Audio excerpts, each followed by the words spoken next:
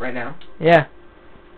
Okay, if you like watch this video and everything, just thought I'd warn you so we don't get sued, even though that's impossible. But it's just kind of funny, so I thought I'd say it anyways. Um, if you're like not old enough or don't like stuff in your life, like bad stuff, and you're like a wiener, you shouldn't be watching this. So, Even though we're 15 years old and like, America. I'd say if you're like seven, Shit. I want to close your eyes. This can get pretty graphic. Oh yeah, Ken. We're playing a rated M game. Rated so- M for manly.